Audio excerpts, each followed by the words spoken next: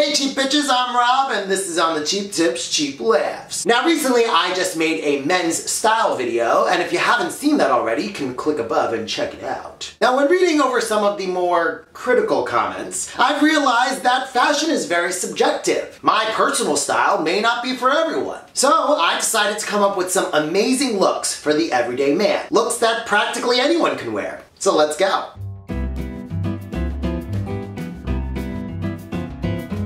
First up, we have a look for the more casual of man, also known as unemployed and not looking for a job anytime soon. A sexy look that will have all of your lady friends wondering, what's that smell?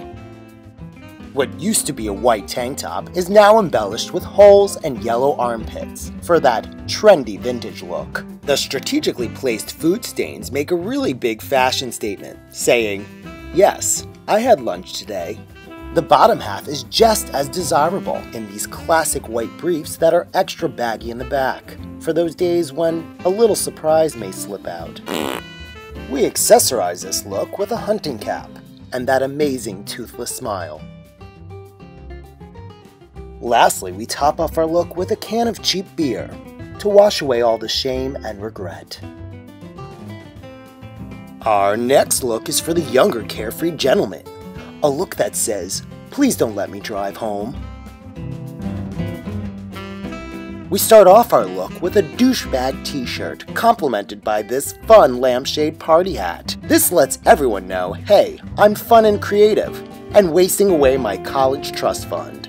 No underwear for this guy. Extra clothing just irritates the sores. And of course this look would not be complete without a red solo cup and fake ID. Beer keg not included. Next up is a look for the most sophisticated of men. A look that says, take out the trash, and by trash, I mean your mom. We start off this look with no shirt, because who has time to put on a shirt when you're too busy embarrassing your family? Bye kids! Have a good day at school! Is that your friend? That's your friend Molly? Hey Molly, how are you? Next we have the ever so popular dad jeans, cut high to hide that donut-filled spare tire that resides on your waist. The sturdy leather belt is not just stylish, but functional, for those days when you need to whoop some ass, which is fine because you do it for the Lord. Lastly, the hair is styled in perfect comb-over fashion. This says, I have hair. No, really I do.